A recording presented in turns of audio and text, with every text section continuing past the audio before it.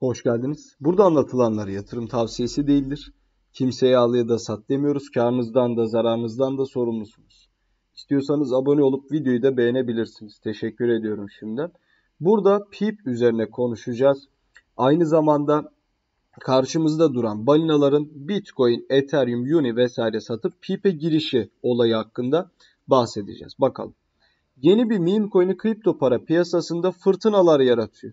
Bu akıma balinalar da dahil oldu. Balinalar da dahil oldu değil. Zaten bu akım e, balinalar tarafından başlatıldı ve e, hem balinalar hem de e, traderlar, küçük traderlar tarafından da şu an devam ettirilmektedir.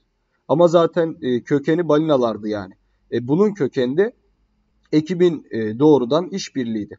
Dev bir kripto balinası Bitcoin, Ethereum ve Uni gibi kripto varlıklarını satıp parasını pipe yatırdı. Balina neredeyse anında 1.23 milyon dolar kazanç elde etti diyor. Evet devam edelim. Balina Bitcoin dahil ne varsa satıp pipe yatırdı. Bir kere şunu söyleyeyim size. Hemen burada e, bu, bu kısmı keseyim. Ne var ne yoksa satıp pipe girmek yanlıştır. Ya böyle bir mantık yok. E, bunu yapan balina açık söyleyeyim bak. Bunu yapan ilk defa balina gördüm ben.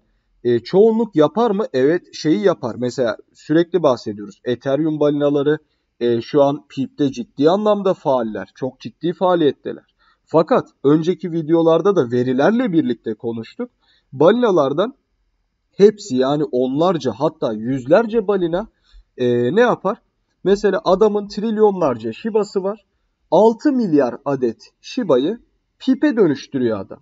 Yani cüzi bir miktarıyla pipe yatırım yapıyor. Anlatabiliyor muyum? Cüzi bir giriş yapıyor. Ha bu pip için de faydalı bir şey. Çünkü e, burada görülen şey o ki adam vurgun arayışında değil. Adam diyor ki ya bir miktar girelim olmadı biraz daha gireriz. E, ani çıkışlar da aramıyor adam. Bu şekilde bir yatırım yapıyor. Dolayısıyla e, uzun vadede boşaltma ihtimali de olmadığı için PIP için de olumlu bir durum yani. Kaldı ki PIP'te e, bu şekilde hareketler hem PIP için yanlıştır. İşte ciddi girdi varıyor koydu e sonra hepsini çekti. E geriye ne kaldı? Tamam mı? Ayrıyeten bunu siz kendinize uyarlarsanız büyük ihtimalle panik yapıp satarsınız. Volatilite çok fazla bak. Balina Bitcoin he, neyse burayı okuduk. Pipcoin kripto dünyasında konuşulmaya devam ediyor. Evet dünyada zaten şu anda globalde en popüler birinci kripto para. Piyasaya sürülmesinden sonraki birkaç gün içinde değeri katlanarak arttı. 4 Mayıs Perşembe günü altcoin 5.01176 dolar seviyesinde yeşil renkte işlem görüyordu. En son tabi 43.5'lara kadar da yükseldi Binance listelemesinden sonra. Büyük katılımcılar bir süredir bu kriptoya göz dikmiş durumda. Onchain analiz e, analitik platformu Look bir paylaşıma göre bir balinanın Pipcoin için Bitcoin dahil neredeyse tüm varlıklarını takas ettiğini ortaya koydu. Döküm söz konusu olduğunda balina 20.62 Wrapped Bitcoin 17 milyar Cult. Cult da bu arada biliyorsunuz e, Elon Musk'ın şeyidir. Son zamanlarda pampladığı fakat Binance'ın da dolandırıcı diye ortaya çıkardığı bir kripto para birimidir. Elon Musk'ın ben PIP üzerinde de faaliyette bulunmasını bekliyorum. Bugün bunu da uzun uzun konuştuk. Girip izlemenizi de öneririm. 44.1 bin Uniswap token'ı ve 19.96 ET takas etti.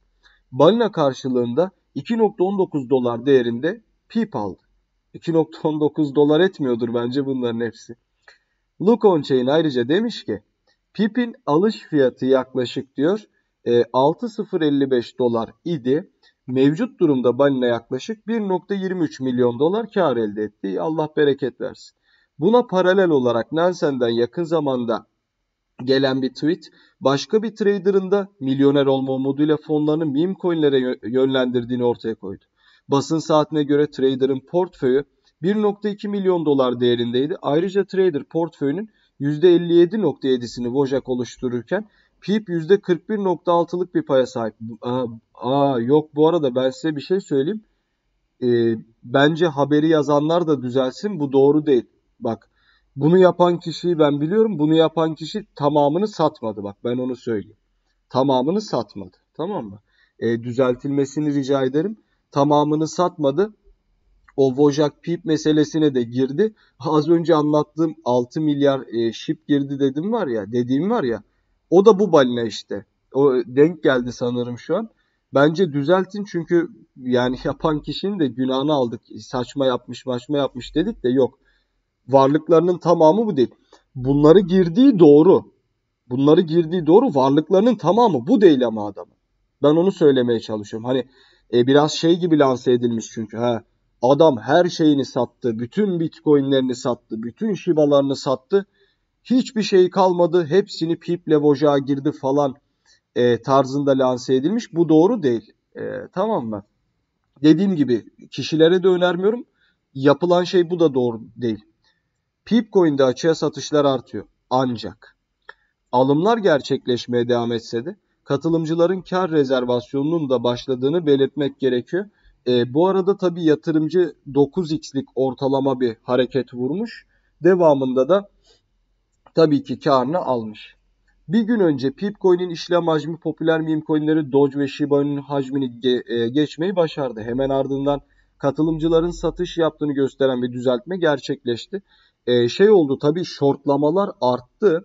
Ciddi bir shortlama geldi ama hemen devamında onlar çok fena patladı. Ben şunu söyleyeyim şu anda gün içinde de konuştuk. Ne short ne long bak. E, şu anda kaldıraç çok riskli. Zaten coin çok şey. Coin'deki volatilite öyle böyle değil ki bir de kaldıraç üzerinden e, kişi hareket edecek.